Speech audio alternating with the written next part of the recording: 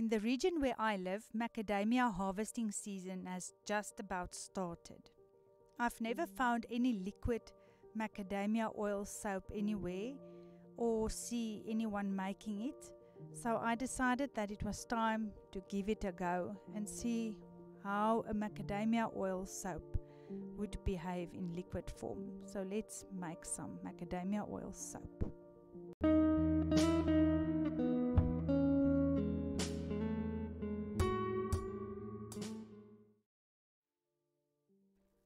Hello, I'm Helen from Sunbird Soap. This is attempt number one. We make a very plain and simple liquid macadamia oil soap. To my water, I just added KOH and stirred it well and just made the soap exactly how you would make any very plain and simple liquid soap. The macadamia oil that I use come from a local nut processing facility and it still has a very nutty aroma so it doesn't get uh, deodorized. Here I'm just adding the lye solution to the oil. What I do in all my liquid soap is that I just blend it in increments of a minute or two and then I just rest the batter for a while. Unlike olive oil, I found that I get to trace a little bit faster. So it didn't take too much time before I reached a trace that was thick enough so that I could start cooking it. I only used a small amount, so I decided to cook this on the stove rather than in a crock pot because of the small amounts of oil that I used for this experiment.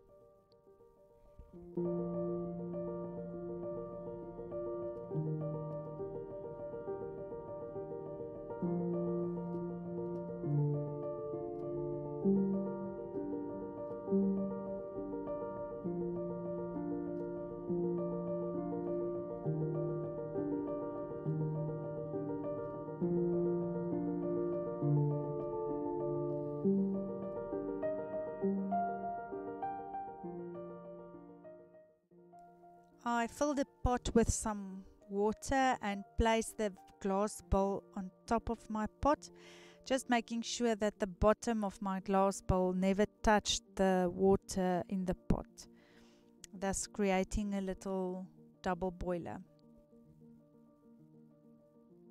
When you think that your soap is ready, usually when it starts looking like Vaseline, the best way to test if it is done is to do a clarity test where you just take a little bit of the soap and dissolve it in some water. If the water is murky when you um, dissolve the soap, it still needs to cook a little bit longer.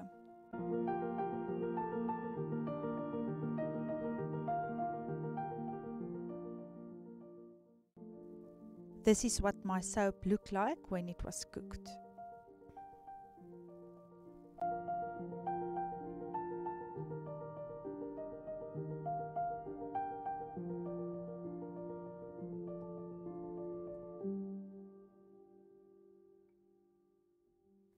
Because I've never made some liquid macadamia oil soap before, I had no idea about the dilution rates. So I decided to first just do a one to one dilution where I use the exact same amount of paste to water to dissolve it. I soon realized that it was not enough water and I ended up diluting it about 2.2 times water to paste. This was all done in grams.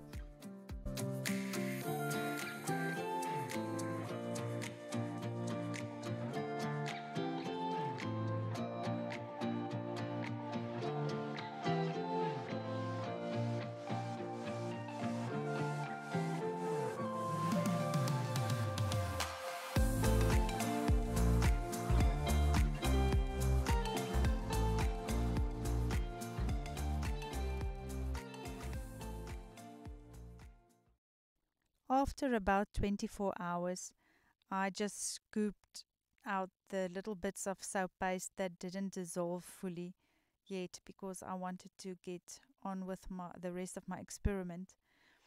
This soap was easy to make.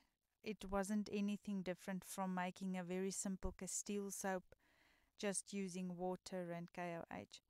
The only difference for me was the color. It uh, it wasn't a lovely golden color like with uh, olive oil.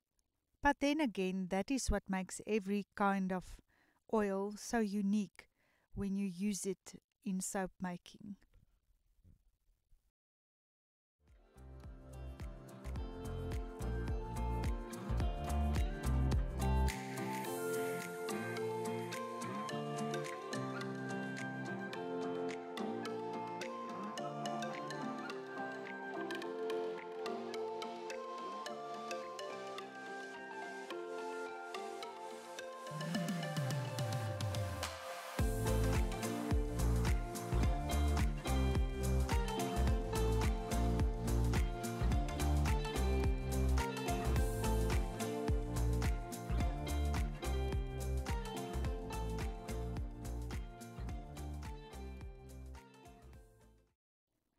The viscosity of the soap was perfect with this dilution rate of 1 part soap base to 2.2 parts of water.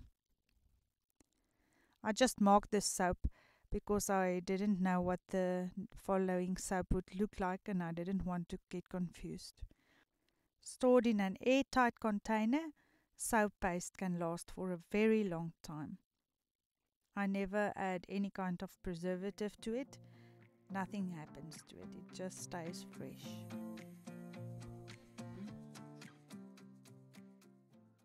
In the second part of this experiment, I used some rooibos tea instead of water to make the lye with. I just added a couple of tea bags and some boiling water and let it sit so that the tea would become really very strong. I've never replaced my water with anything but a little bit of vegetable glycerin in making liquid soap, so using the rooibos tea would be a first for me. Here I'm just pre-measuring my KOH. I never add any kind of super fat when I make liquid soap. With the rooibos tea still hot, I just measured out the amount that I would need for the liquid part of the lye solution.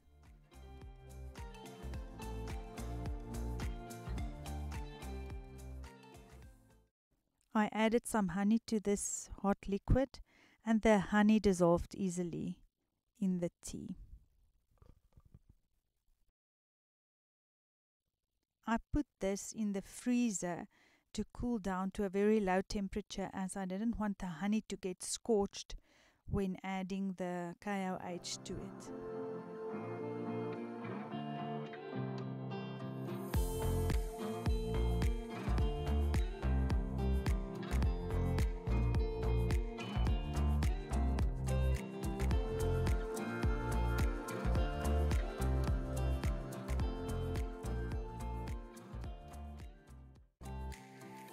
Here you can see that the rooibos tea with honey was quite cool. It was 5 degrees Celsius. Adding the KOH to such a cool liquid prevents a severe exothermic reaction and there's not a lot of fumes that come off. As I stirred this, the tea became darker and darker, partly due to the color change in the honey also.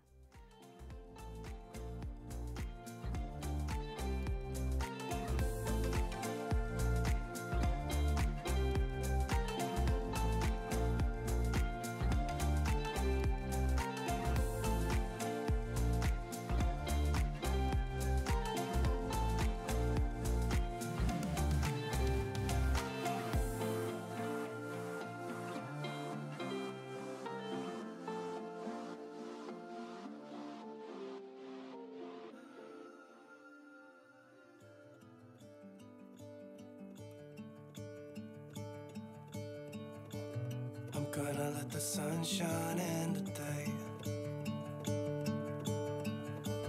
I'm trying to make this darkness go away. I'll paint with colors and I'll sing until my lungs give out. Mm. I'm gonna let the sun shine in.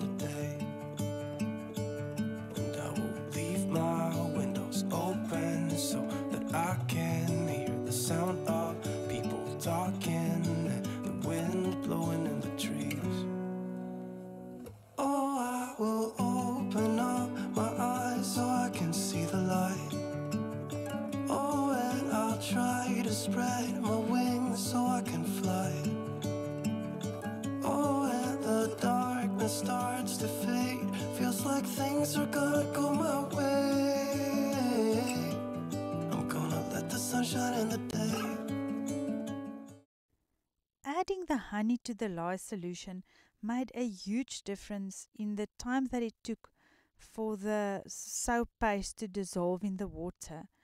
In future, I'm definitely going to add honey to my lye, regardless of the liquid that I use to make the liquid soap from. I was very surprised by this.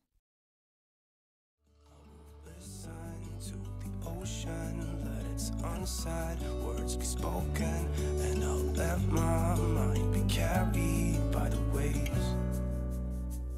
Oh. In the third part of the experiment, I changed one thing again. Here, I didn't use any rooibos tea as liquid, I just used water again. But here, where I weigh out my KOH, I weighed out a little bit more than what I would have. The reason for this is that I added 1.2% of citric acid to this soap. I've never used citric acid in my liquid soaps before. Citric acid helps to reduce and even remove soap scum, but it also leaves soap feeling a little bit more silky when you wash your hands with it. Here I'm just dissolving my citric acid in a part of my lye water. The rest of my lye water I added as ice cubes. As you can see, this step came first before I added the KOH. The ice cubes just also help to reduce the exothermic reaction caused by KOH, as citric acid itself can also cause some bubbling up. Citric acid is a 100% natural ingredient. When I add the KOH here to the very cold ice cube and citric acid solution, no exciting chemical explosions or reactions happened. So it was a very calm mix of lye and water. Gonna let the sun shine in today. I'm trying to make this darkness go away. Unlike the second time when I dissolved the honey in the hot rooibos tea, I just added the honey to the macadamia oil here. I stirred it very well to just make sure that it was incorporated very well before I added the lye solution.